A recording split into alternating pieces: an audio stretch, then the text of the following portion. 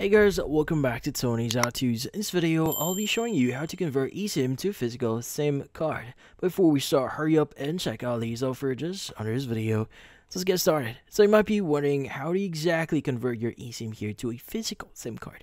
Well, in this case, the first thing that you want to do is you may want to remove your actual SIM card or eSIM here.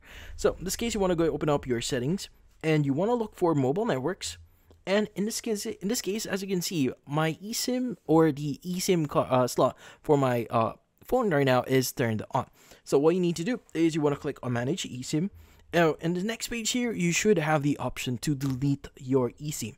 Now, if you already added in here or you already added your eSIM, obviously you have the option to manage or basically delete it from your account here. So once you've deleted that, you could go ahead and basically go back here.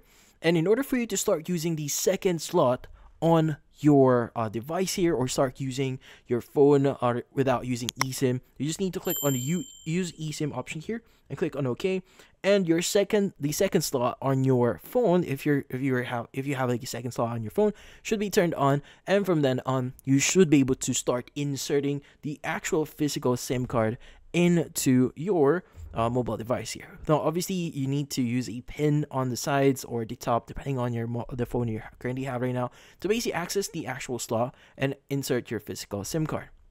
Now the thing with this one, if you're asking, hey, oh, where, uh, how do I get a physical one? Uh, well, in this case, in order for you to get or convert your eSIM to an actual physical card here, you need to contact the support page of the provider that you have for your eSIM. Like for example, you have like for example, you have like T-Mobile, or if you have Globe, or in, th in this case, it actually depends on what you, uh, what type of SIM card you currently have.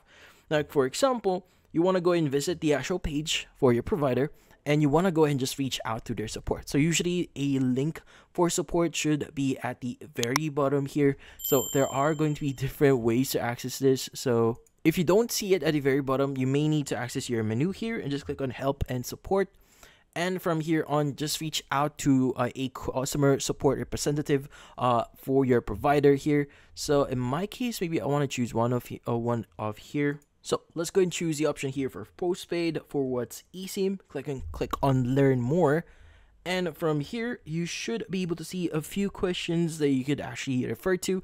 So for example, I want to switch back to a physical SIM card. Can I still keep my number? So you can just click on this one. And according to my provider here, I need to visit the nearest Globe store for further assistance and basically pay a fee in order for me to have a physical SIM card instead of an eSIM uh, for my phone here.